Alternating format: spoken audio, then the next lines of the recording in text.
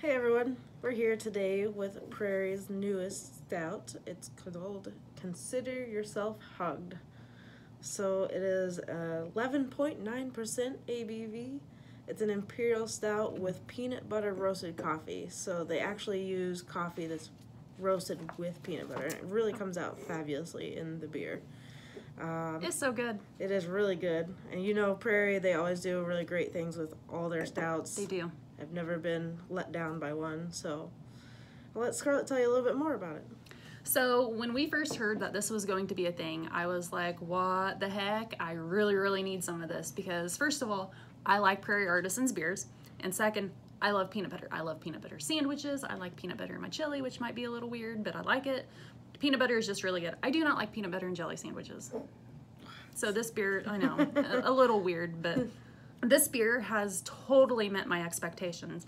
So it's like 50 IBU, so it has a little bit of bitterness to it, but it's fantastic. Look at the lacing. It's sticky on the side of the glass.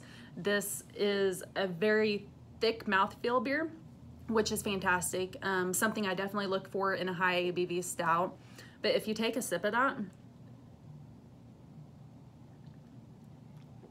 it's like holy moly coffee, but then it's like tons of peanut butter on the back end. Oh, yes. I think it's like the best combination because you get the coffee up front. To be honest, I wish the coffee was a little bit more hidden, but this one is a huge knockout of the park for them. It smells absolutely fantastic. You get tons and tons of coffee on the nose.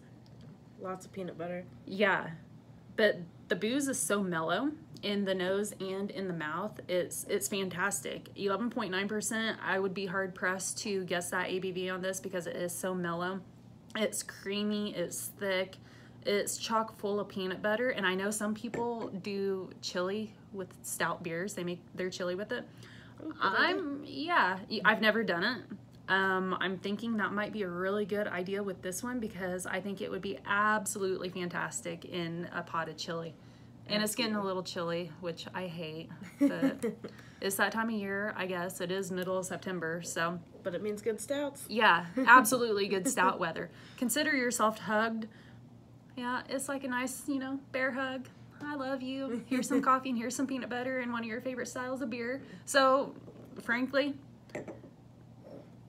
this is one of their better ones they've done recently, in my opinion. And I do love their stuff, so. I agree. Like the peanut butter doesn't make it super bitter. It, it, actually curbs that. So you get the coffee, but you get lots of peanut butter. You get the good stout base. Yeah. So definitely reserve it today.